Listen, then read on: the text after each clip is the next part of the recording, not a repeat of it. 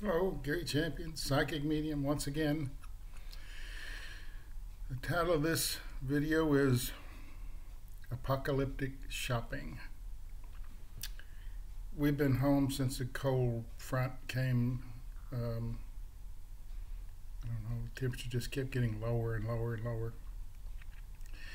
and we're sort of running out of food, so decided yesterday, today's a store day. We have to go to the store. We need some, some provisions. And I need to mail a package.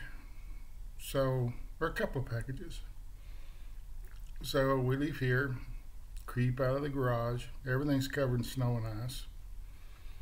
And um, I have a lot of experience driving in the snow or ice, but you can't tell Bunny that. So every five minutes, that's what I'm hearing.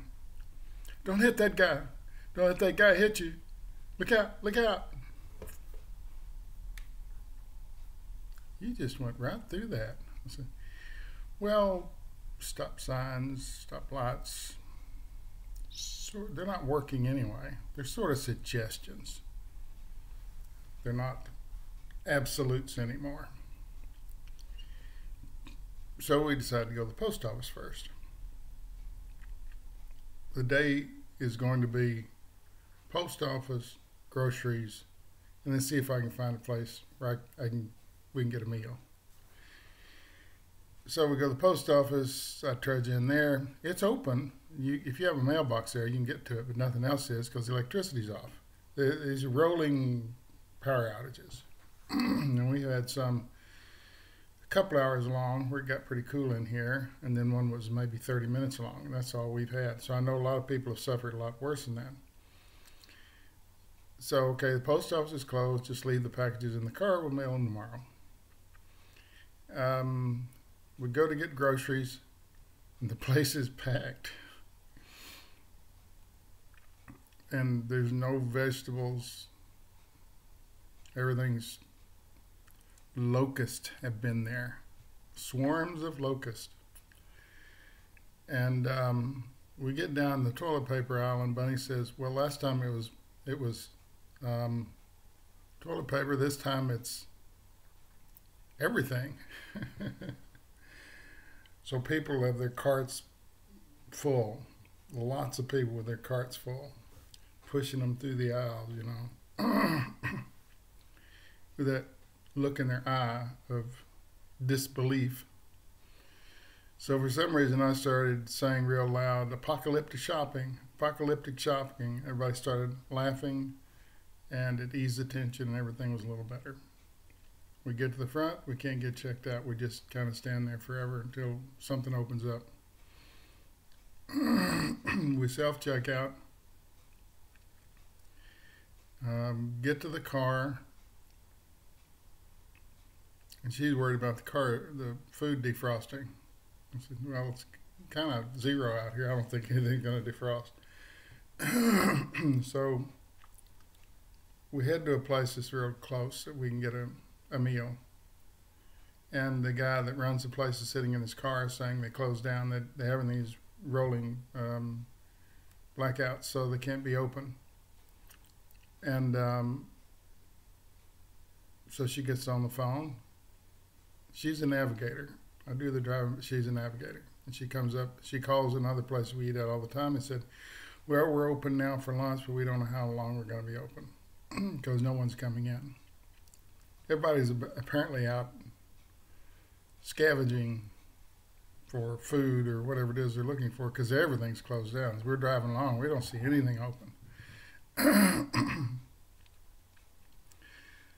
so we get to the place, and there's a couple of cars out front that look like they belong to people that work there. And we go in, and it's us. And we know the manager, so we're talking to him.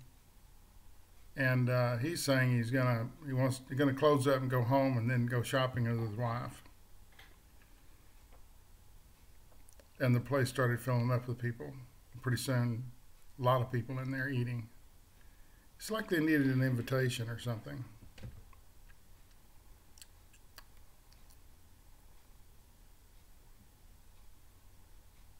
So we put the car back in the garage, unloaded the the food, and um,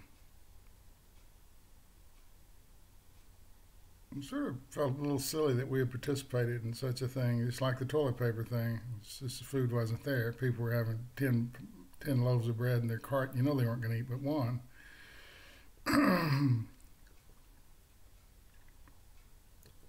Which prompted me to go back and get another pound of coffee. so um, we get home. We're sitting around because uh, since the cold um, hit, my phone's not ringing. No phone's ringing around here. I don't think the service is working very well anyway. So yesterday, a house about halfway down the block had water coming out of it, front and back, water. You know, that house is ruined. So we were wondering what that was about because the owner, we know him really well. He and his wife and his mother's wife are not there anymore. But Bunny is the she walks our dog more than any other dog. and he wasn't doing his business. He didn't know what snow was. He just kind of went out there and just ran back inside. It scared him.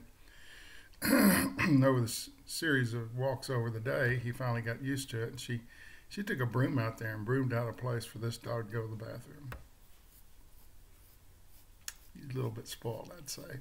and finally, as he does, about walking up and down the street, she hears that the pipes in his upper story that control the um, his house has three stories ours has two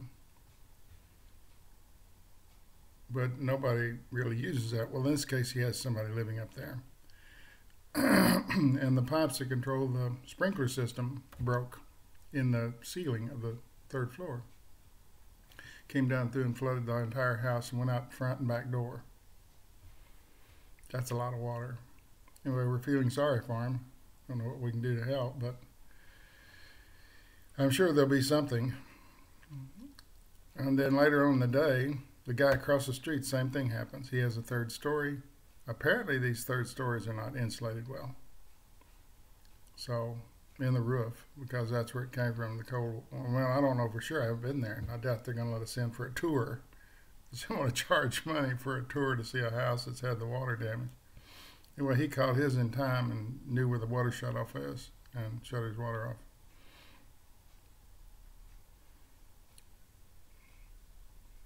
So I say we ought to go out and let's go do that again. Let's go out today. It's today. Hmm, There's even more snow, maybe another six inches of snow out there.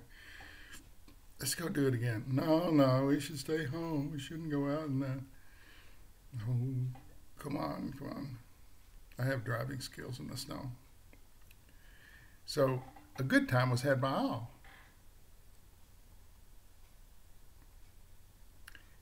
And as I woke up this morning, um, I wanted to do a video about this to just show how silly things are. That we, we moved right into the dark ages without electricity. Electricity made everything. You can't make coffee, you can't turn on a television, the computers don't work, Wi Fi doesn't work.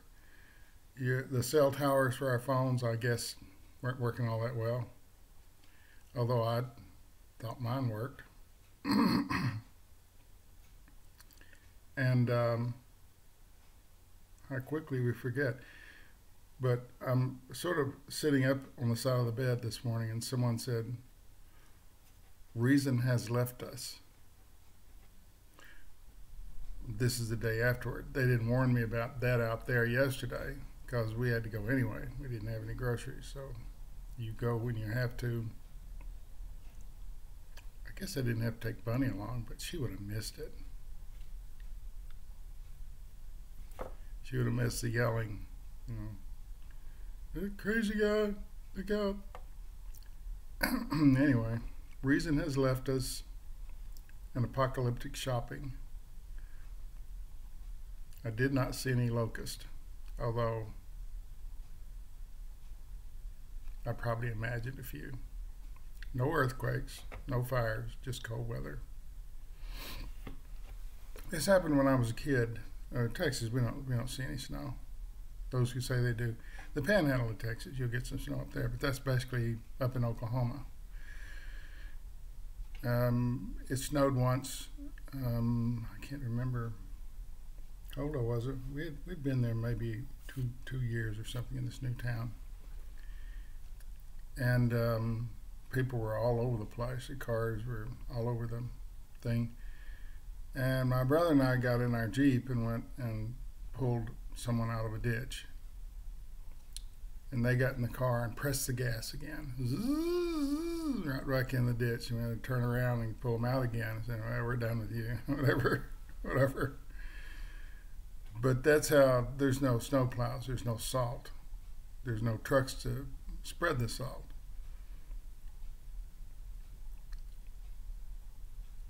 The north, from here, they you know they have all that equipment, so they got out and plowed and threw uh, salt, and the ice was gone. You could drive on it, but it was still cold.